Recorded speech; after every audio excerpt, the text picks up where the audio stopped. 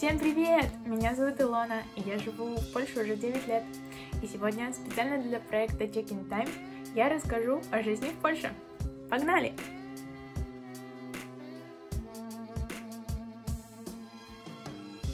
Какие же особенности у польских женщин? Они очень гостеприимные, очень отзывчивые. Я вот была очень восхищена, когда я приехала сюда, и у меня появились подруги польки, которые всегда с удовольствием э, отзывались на мои просьбы о помощи. Эм, они очень для меня они вот тоже очень красивые, хоть и часто ребята наши русскоговорящие, да, говорят, что вот русские девушки, они красивые, самые красивые, а там на Запад уже не очень. Я, например, э, не совсем с этим согласна, но это мой э, вкус, э, потому что я была тоже поражена, вот когда я приехала в университет, я встречала таких красивых и таких умных девушек, вот, поэтому, не знаю, да, возможно, они не вынаряживаются, да, как наши девчонки, они больше предпочитают комфорт, то есть их чаще увидишь в, кедах, в кедах, чем на каблуках. Наверное, тоже это касается, в общем, э, европейских девушек, да, но тем не менее они э, не забывают ухаживать за собой ни в коем случае, чаще предпочитают что-то натуральное, вот, но вообще они тоже очень красивые, и они борются за равные права. Э, в больших городах это больше как-то распространено, наверное, чтобы девушка э, посвящала больше времени на карьерный рост, там, да, до 30, до 35, только потом уже больше думала о детях и семье.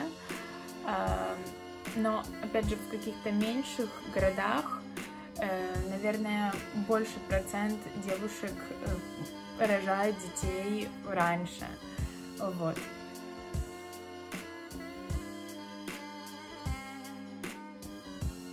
Что же касается особенностей польских мужчин, я могу их тоже описать как очень а, галантных, вежливых и отзывчивых.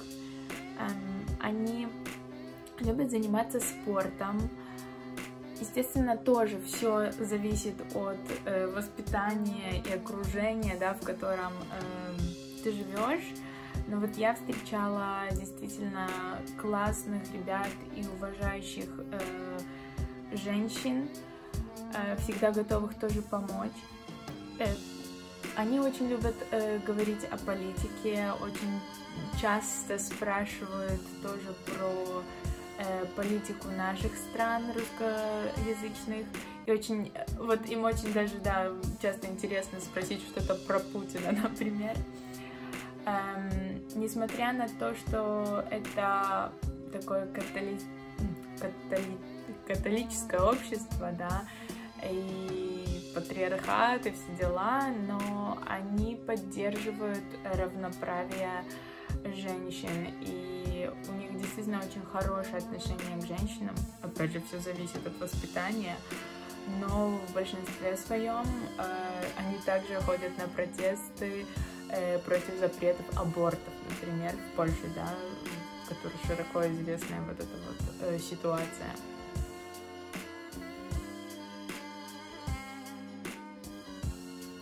Необычные запреты в Польше.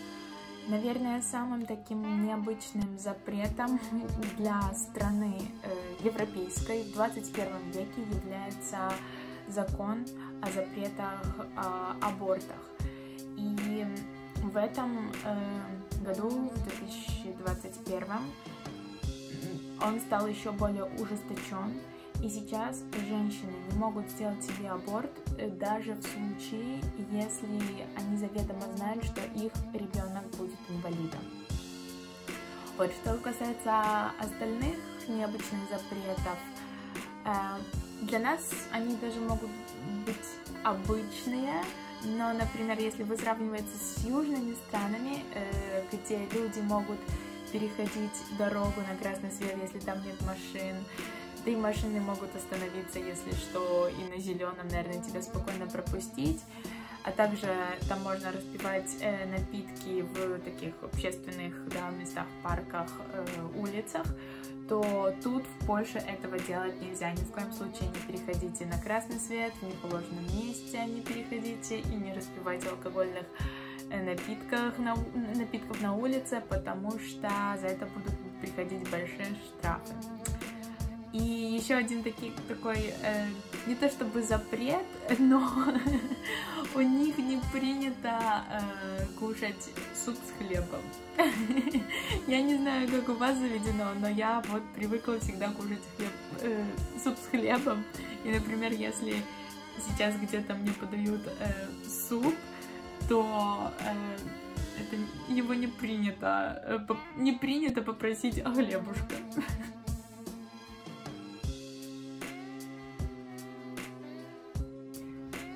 вещи, которых лучше не делать в польском коллективе.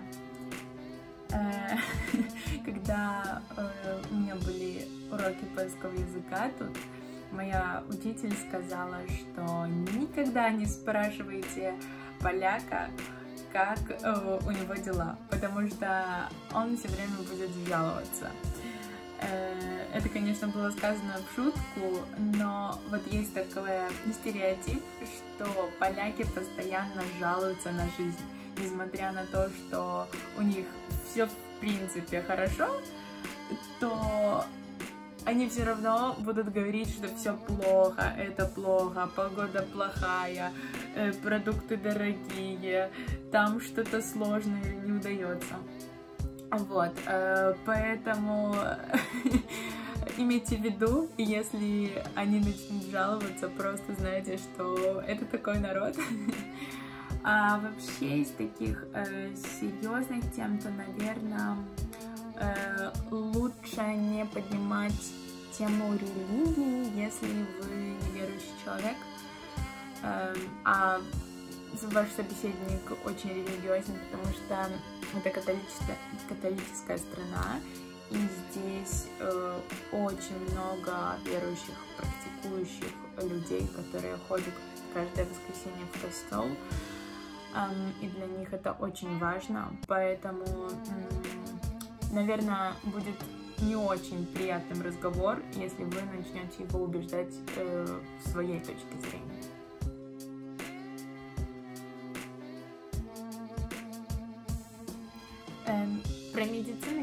Рассказывала в предыдущих выпусках, говорила я о плюсах и о минусах. Так вот, э, повторюсь, что медицина здесь очень хорошо развита. Хорошая больница, хорошие специалисты, хорошее, хорошее оборудование.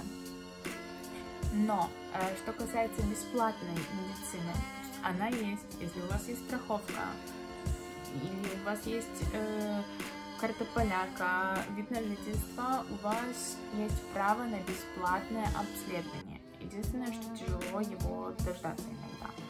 Э, но здесь есть и платная медицина, которая тоже очень развита в туда частных клиник. Э, и можно найти не так дорогое лечение, скажем так не знаю, в сравнении мне всегда вот навязывалась такая внешняя мысль, все говорили, что как здесь дорого ходить по врачам. Но, например, сравнивая стоматолога, поставить обычную пломбу, я заплатила что-то в районе 40-45 долларов за одну пломбу. И в сравнении с Беларусью я узнала, что там тоже такая же цена, да, 5 долларов, 10 долларов разница может быть ну, то есть вернуться туда и вернуться сюда мне вышло бы дороже, поэтому все очень относительно, но такая средняя цена на какого-то специалиста тут будет в районе 25 долларов, наверное, чуть-чуть больше, меньше вряд ли, ну, зависит от города, опять же. Э, я живу в Варшаве, здесь очень э, все дороже, потому что столица, вот, но э, все можно найти и подешевле.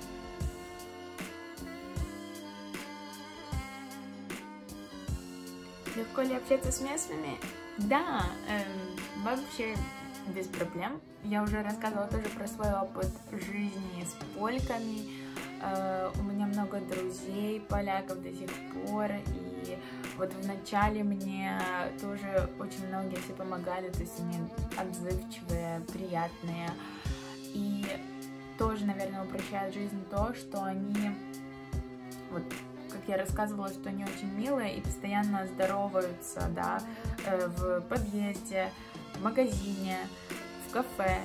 И ты без проблем тоже можешь продолжить этот диалог, потому что ну, мы часто стесняемся просто заговорить, да, а тут у вас уже э, пош, пошел вот этот разговор, и как бы дальше нечего стесняться, и можно спросить, э, что, ну не что угодно, но продолжить легко разговор.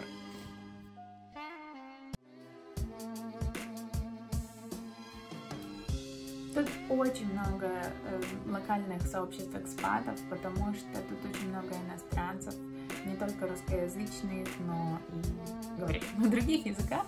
Поэтому они все объединяются, они все открытые, дружелюбные и хотят просто как можно больше найти хороших э, людей, чтобы проводить э, с ними классное время что-то придумать, чем заниматься, так тоже они организовывают какие-то мероприятия, не знаю, выход в бар, либо выход на, этом, на пляж к реке, э, придумывают э, всякие, э, не знаю, ночь игр настольных, например, такие мероприятия. Также очень много есть таких мероприятий, когда вы можете меняться знаниями языков. То есть, если ты хочешь учить польский, например, да, а поляк хочет учить русский, и вот вы можете встретиться и пытаться научиться друг другом. Это все происходит в каком-то баре, либо кафешке. Короче, все это очень просто. Тут очень много э, находится, проживает русскоговорящих людей, и беспроблемно идете какие-то даже новостные паблики на русском языке, э, где э, тоже будете узнавать всякую нужную информацию.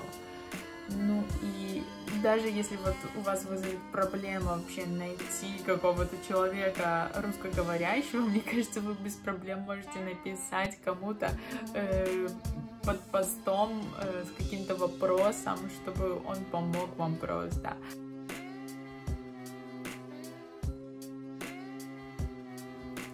Сейчас как раз таки солнечная погода. Сегодня, э, хотя уже прохладно, сентябрь очень хорошо чувствуется, особенно в вечернее время. И в дневное, в принципе, чувствуется ветер холодный, поэтому погода не сильно отличается от белорусской. даже можно сказать не отличается. Но мне кажется, что здесь все равно немножечко теплее, конкретно, например, в Варшаве очень часто теплее. В общем, также 4 сезона. Э, вам нужна одежда для всех сезонов. Несмотря на то, что снег тут э, выпадает, э, ну, уже поздно достаточно. Поляки всегда ждут его на праздники, на Рождество, к 25 декабря. А, его никогда нету в эти даты. Вот последние, наверное, лет 5 он точно не выпадает, выпадает позже и, в принципе, держится не так долго. Но иногда может выпасть потом еще и в мае так случайно, невзначай. Эм, но разницы в какой-то такой определенной в погоде с нашим климатом нет. То есть, э, сапоги зимние здесь найти тяжелее, более такой демисезон, да. Э, но в принципе и вы не замерзнете тут так сильно. Но тут тоже есть же э, район, регионы около моря, там всегда холоднее, ветер сильнее, и есть э, горные на юге, вот те регионы. Э, ну, в горах там, понятно, там вообще разная погода, да. А вот в южных более городах там еще, ну, еще теплее, ну там действительно теплее на пару градусов очень часто. Если тут в Варшаве весна еще не началась, что там уже она может начаться намного раньше. Если вам понравилось это видео, поддержите, пожалуйста, лайком. Э, не забывайте подписываться на наш канал. И до скорых встреч. Пока!